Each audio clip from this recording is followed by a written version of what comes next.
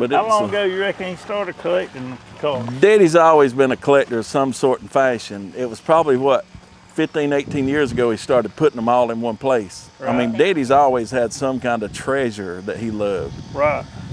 But he, uh, I guess about 15, 20 years ago, he started parking one or two down here. Then, you know, Gus would find four or five. We'd go together and buy them for Father's Day. That whole road down the chicken house, I think, I don't forgot where we got them. We bought most of them one time Uh, for, kid. For Father's Day. Yep. Really? We got we went and bought that whole little row of cars and Yeah. gave to him Father's Day. Christmas, anything like that, you find old car, man. Yeah. These cars right here, we did buy like 15 from an estate. We bought about 15 of these unique cars at one time at a state auction. Right.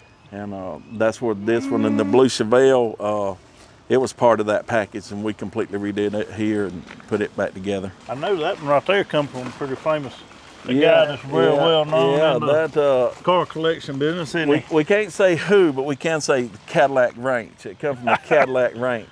And Yeah. Daddy would drive this one and uh, take the kids riding with, uh, Yep. and they'd sit on the back. Yep. And the, the, grandkids, and the- loved it. and the guy we bought it from, Dad let another guy keep it. He traded on it. Well, three years later, they was at a car show, and Dad's like, "I really like that car." He said, "Well, you should. It's yours, James." He said, "You bought it three years ago," and that was a guy up in Alto. So Daddy got it back down here, and we started driving it some.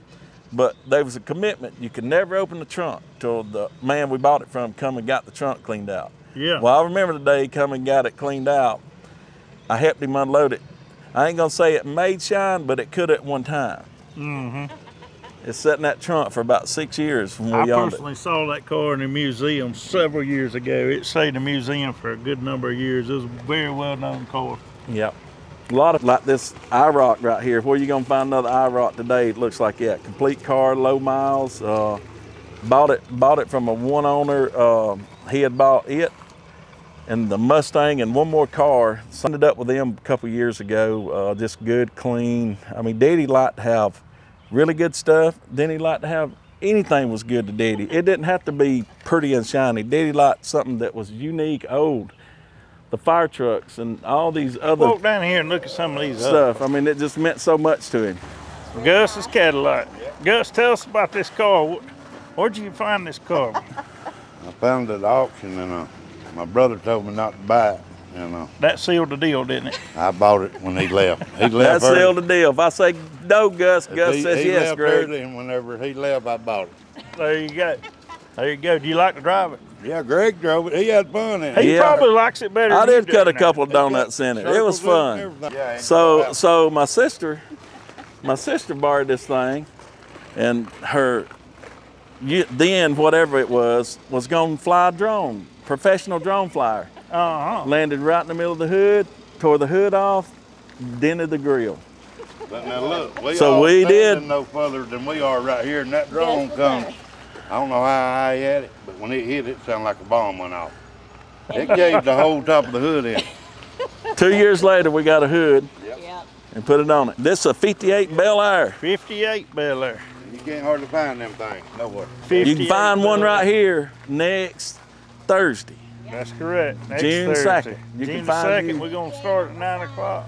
9 a.m. You can have your own 58 Bel Air. Y'all drove that and around a lot. We have drove it some. It come from a, it come from a, a local contractor. Uh, we've acquired it about three years ago. Uh, the guy really thought highly of this car, had a lot of money spent on it, and everything's solid as it can be. It stands for itself. Big Red, as we call her. Uh, That's a unique truck right there. there was a rescue squad truck. It's got around 17, 18,000 miles, unless we drove it a little more. But we took and converted it to a flatbed fun truck. Yeah. We, we drove it to the tractor pulls and It's got a pull- cool big De- Detroit uh, diesel big engine in Detroit six-wheel drive, go anywhere truck. Uh, cool every step of yeah, the way. we uh, we used to haul the junkyard dog to the racetrack in it. yeah. Pulled him, pulled him to the Toccoa Speedway. Now, Gus, this is what everybody wants to know about Gus. Tell us all about this Peterbilt. Well, I tried to buy that thing for about two and a half years from Bone up in Cleveland. And I finally got something he wanted. Right. And I called Daddy and I said, I can trade this truck for this little Peterbilt. And Daddy told me to go ahead. And then we took it to a paint and body shop, had it reworked the whole truck inside and out, and uh, we took it down there and give it to Daddy like the day before he passed. Really? He got to That's see it awesome. out the window one one time. Yeah. Now, did the gentleman that y'all got it from, did he pull with it and use it? No, he just drove around town. He'd Just ride like around ride around town. everywhere. He, he, you'd see four, or five cars trying to buy it everywhere he went. Yeah. It does have a usable fifth wheel if somebody That's did what want to pull, thought. I pull saw a something with usable it. fifth wheel. You could hook a camper to it, or your livestock trailer, or your race trailer. Anything you It's want. black Gotta- when I bought it. We Yeah. Black, yellow, green, it had a little bit of every Yeah, color. I yeah. think the guy just mixed everything he could get in his paint gun and sprayed it. Yep, he didn't have Well, it's beautiful now. Yeah, really turned out unique. That's that's really now Daddy liked nice clean work trucks. You know, he liked stuff that you was gonna work in, representing the name Wells, well known name throughout North Georgia. So he uh, he, There's he no did have pride on on that right there. So then me and Gus was at auction.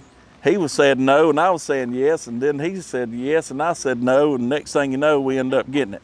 Loved that Mack for Daddy. Yeah, yeah, sure Yeah, did. That was, that's a uh, I think that was a Father's Day gift about five years ago, four or five years ago. That's a pretty truck. It runs good now. Yeah, they completely redo these trucks out in Alabama. That ain't where we bought it. We bought it out of South Carolina at auction, but we've had it about three or four years. We when we had our big car show, we had a big sign had Simpson back of it. Simpson Farms on it. Yes, sir. Nice. 64 Malibu Super Sport Chevelle.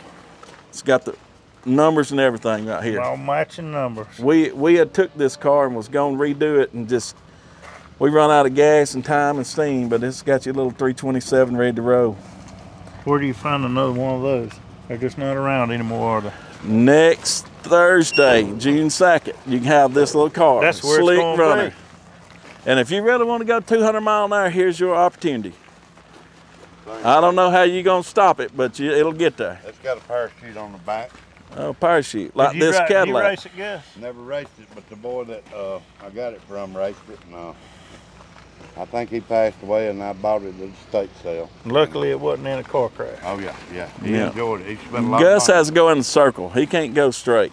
Yeah, I like dirt racing. He likes to come right back around and see you. He can't he can't leave you. He just wants to go about about 20 seconds. You'll see Gus waving again. Yeah. There you go. I remember a long time ago, the dirt car up here, when, when I used to go when I was little, I'd watch my brother race. They had a hot dog race at Winder Barrow one time. Gus would drive his dirt car around the track. You go two laps, you get out, park on the front straight, run up the steps and eat two hot dogs. For 30 laps, I think he ate, Sure, gosh. I think he ate 30 hot dogs, but he won the race. Yeah, well, The hot dog race at Winder Barrow in the dirt cars, just like over here. That's all right. This is the younger generation. This is James L. Simpson instead This of James this E. is your Simpson. son, isn't it, yeah, Gus? yeah, Yeah. Yeah. Is this your oldest son? yeah. No, Oh, mid- middle son. Middle. All right. It all depends on which woman you're talking about, whether it's his oldest or youngest. And if anybody knows much about Diddy, about 20 years ago, Diddy was A model crazy. And if you got an A model, you got to know somebody that knows how to work on A models. And it went up and down about eight models. We got out of the A model business, and then these two come back up available. And, and Daddy got this from one of his real good friends. He had stayed at him for years and years. And I can't remember where Gus found this Folsom State Prison one at, Cleveland. But uh, it may have come from Folsom State Prison for all I know. Uh, Right. Bonnie and Clyde. but right uh, these are two good. You solid, ride in them, Andy? These are two solid A model cars, or they wouldn't Good be runners. here today. Yep. Yep. Sure Good runners. Y'all had a lot of fun with them. Yep. We all enjoy those videos you put up of you and your daddy. Yeah. I miss that, but We'd always be worried about Daddy driving the car because his legs didn't work good. So Right. he said, "What if I wreck it?" So man, what if you wreck it? We'll fix it. yep. That's right. We didn't ever try to tell him he couldn't. We just told him we'd fix it if he did. That's great. Yep. Bubba, what's the story on that Mustang down here? Tell them about you getting it out of your papa's fleet and him, y'all working together on it and y'all fixing it all the way up, man. You talked to the, talked your granddaddy out of it, and he sold you this Mustang. Yeah. And you just added it back to the collection. Yeah. Tell us all about it. Tell us what all you did to it, you and your granddad. Uh, we put a new motor in it, a whole new fuel system, uh, new wiring harness, a little bit of everything, new chrome and stuff. Radiator, interior, yeah, that thing runs good. Yeah. Ah, it's beautiful, Bubba. What's what's her name, you. Bubba? Damn, damn old car. Damn old car. Bo, Money pit. it took you a while to get old Papa to see you one that yeah, it took ten years. he talked 10 about years. selling everybody, or all of them, but he wouldn't hardly sell one to nobody. Wouldn't hardly sell one. And you know, that's something, He that, always that's, a, told us. I, I don't think. that's a big thing. And you I- know, and that is the story. well, I know I know of about four his wishes cars that's left this place in the last 15 years. How many? about four, and it really wasn't. It really, not necessarily understandable what, what Bubba, well, he is family, but some of the other stuff, Diddy helped with charity. Like they school project. He he finally let one group have it, and I mean he wouldn't hard, he he wouldn't let his best friend have a flat tire down here. It was Right. it was just he knowed if he ever started, it would never end, and he Right. never started. He was firm about believing, you know, and that. Now Daddy would have gave you his shirt off his back, but he wasn't going to give you this chrome off his car Right. because it meant something to him, and this still does today. And that's the reason we're really hoping that all the community and everybody, you know, supports this thing and and and gets a little bit of what they've been begging for for 15 years. I mean, you know, come and get it. You know, it's it's a Yeah. one-time deal. You know, Diddy said if we ever sell them, we're gonna sell them all at one time, and and that's what we're doing. and this was his wishes. of Yep, what- it was his said he wishes. wanted Yep, he knew this was a full time job, but it kept a smile on his face. And hey, he's with us here today. He's he's right here with us all, and he's gonna be with whoever takes a piece of his history with him. That's right. And I hope whoever gets them will bring them back and show us what they've done with them, you Yeah. know? Well, we want to we want to try to do a car show about every every two or three years. We had one a couple years ago. About 3,500 people showed up. But if you'll look and see where we're gonna put that many people in cars today. I mean, we need to make a place for Maybe everybody to have have a car car show. show. Yeah, we, we need to make a place for them to have their car every show. day, didn't he? Like this truck here, my brother found this thing somewhere down in Athens, and uh, and That's this the title of this old truck. this truck sat out here for about five years, and, and everybody from from Gene and Matt Tractor, everybody that know Diddy thought they could come pull strings and get this thing. Yeah. So probably then, I guess about four or five years ago, my brother come in with this old hot rod Lincoln out here. Uh huh. So him and Daddy got together and they took that hot rod Lincoln and put it in this Ford pickup. Yep. You know I'd let the hood up, so I don't. Would you show me? Well, I know I walked up to this truck when nobody was around one day last week, and this truck was cold, just sitting there. yeah, I got in you, and I bumped. I just couldn't help myself. I couldn't help myself. It's got a big block Ford motor, a completely rebuilt transmission, disc brakes, American racers. Every every window on this truck's brand new. We put smoke glass windows back in it. Daddy wanted to paint it, but we talked him out of it because it's just original paint. Man, you just ain't never gonna run across another truck like this. Y'all want to hear it crank? We want to hear this truck. This truck right here will speak to your soul when it runs.